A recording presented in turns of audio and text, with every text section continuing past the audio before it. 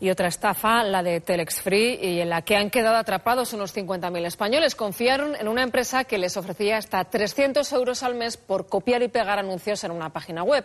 Eso sí, para tener esos ingresos debían pagar algo más de 1.000 euros para entrar en la empresa. Es el modelo de una estafa piramidal clásica.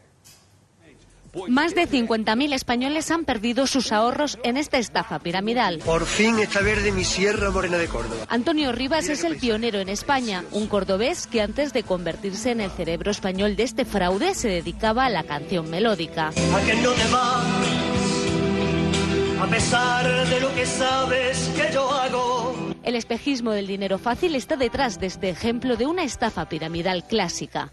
Los nuevos clientes de Telex Free pagaban hasta 1.050 euros por entrar. El dinero servía para pagar hasta 300 euros mensuales a los clientes que ya tenía la empresa. Para que él cobrase, necesitaba que la pirámide siguiese ampliándose. Así hasta el infinito. Porque si por tener el dinero en una cuenta te pagan el 1,2%, pongamos por caso, y esto te promete el 30% de beneficio, algo oscuro habrá. Había dos formas de generar ingresos. No nos llevará más de dos minutos al día. Simplemente copiar y pegar. Ese será nuestro trabajo.